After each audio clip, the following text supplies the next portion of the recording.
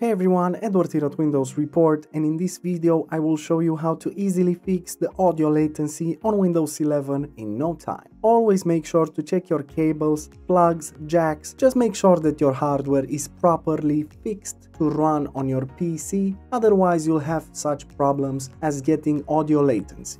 So the first solution that you should always take in consideration is to run the audio troubleshooter. Now to do this, press the Windows button, then select the settings icon and afterwards click on system on the left pane and then on the right side scroll down until you find the troubleshoot category and just click on this category. Now select the other troubleshooters option and afterwards make sure to click on the run button next to the playing audio option. Now Windows will try to detect any issues and fix them as soon as possible. You can then just restart your computer and check if the problem still persists. Moving on, another useful solution is to check your sound settings. To do this, press the Windows button, then select the Settings option, and afterwards click on System on the left pane, and then select the Sound category.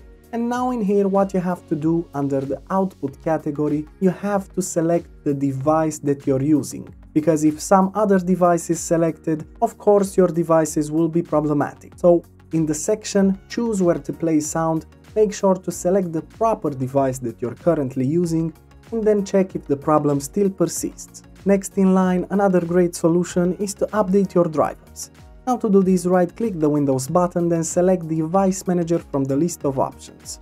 Now in the device manager window make sure to open up the audio inputs and outputs section, then right click on the problematic device and select the update driver option. Now just click on search automatically for drivers and Windows will try to find the best drivers available on your PC. You can then just restart your computer and check if the problem still persists. Next in line, another great solution is to turn off the audio enhancement. Now to do this just press the Windows button then simply type sound and then select the Change System Sounds option. And now in the Sound Properties window, make sure to go to the Playback tab and then simply right click on the device that you're using and select the Properties option. In here just click on the Advanced tab and under the Signal Enhancement category, make sure to untick the box next to Enable Audio Enhancement. Now just click on apply and OK to save the changes, restart your computer and check if the issue still persists. And lastly, another great solution is to simply restart the audio services. Now to do this, press the Windows button, then simply type services and then select it as an application from the search result. In here, as you can see, the list is quite big, so take your time scrolling until you find the Windows Audio Service.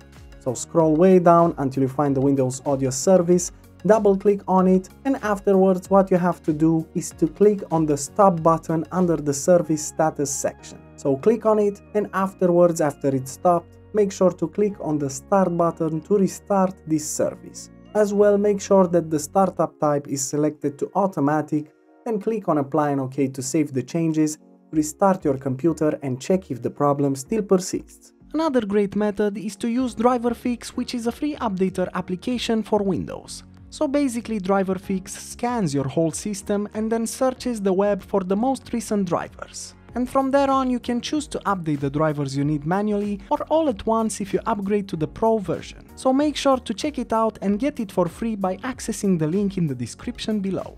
And that's it. Super simple, isn't it? Of course, if this video helped you, make sure to hit the like button and subscribe to our channel. Thank you.